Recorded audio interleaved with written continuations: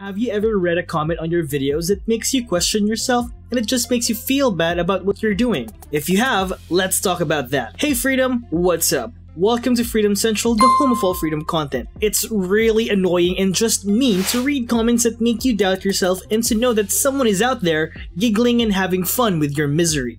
In this episode, let's talk about why they do what they do and how to stop them from bothering you.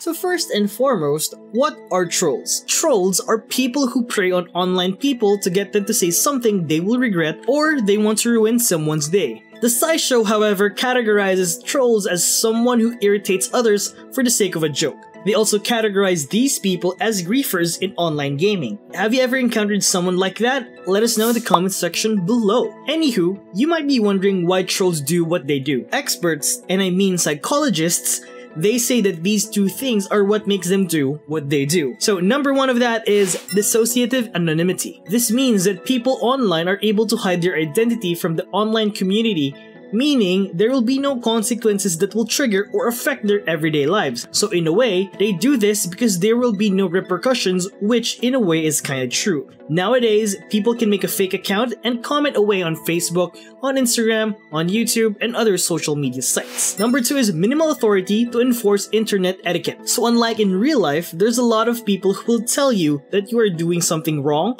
or you're doing something right. And also, there are authorities that can actually arrest you for doing things that deems to be destructive or even harmful to other people. But on social media, Facebook, YouTube, or other social media sites, there are minimal authority figures who can actually reprimand you or even arrest you. So in a way, essentially, there are no repercussions. Now we kinda understand why these trolls do what they do. Let's talk about the type of trolls out there on the internet. These are just some of the types, but actually there's a lot, lot more. Number one type of troll is the self-promoter. Have you ever had a comment on your social media that just promotes other content creators or even worse, their own YouTube channel. They just pop out of nowhere and put a self-promotion bomb down on your comment section. Number 2 is the casual perv. These trolls are one of the nastier ones. They will misconstrue everything you say and turn it into a distasteful green joke. Stay clear of these ones for they will make things inappropriate real fast. YouTube takes offense to comments that are perverted and it's your responsibility to clean it up. Number 3 is the grammar Nazi. They will completely make your day go from good to worst in a second or two. Not only that they will blatantly tell you what's wrong, they'll also try to make you sound really not smart.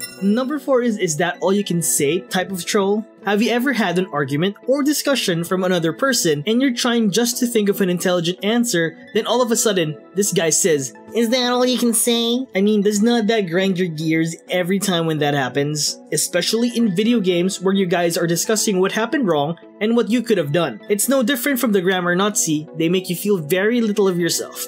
Steer clear, my friends. Now we know what these trolls are, now let's talk about how we can avoid these comments or maybe we can have a smart approach in answering their questions. Here are some tips you can do to steer clear from their ire and maybe be the better man or woman. Number one is wait. Waiting sometimes gives you the time to think about what you want to say and keep you from making mistakes that you will regret. Be calm, collect your composure, then think about what you want to say. In that way, you can make less mistakes and be the better person.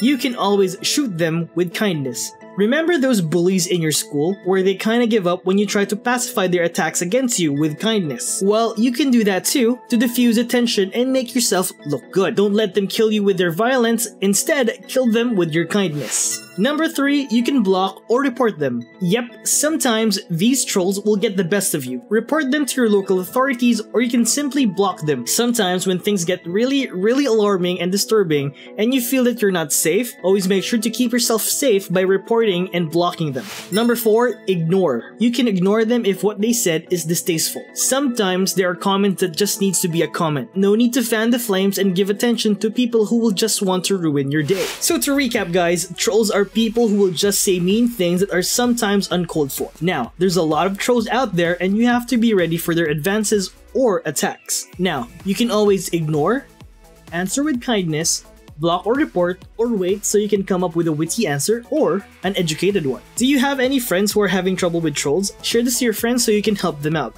Before I leave guys, please don't forget to like, subscribe, and ring that notification bell icon. This has been Freedom Quick Tips, and I'll be seeing you guys on the next episode. Goodbye!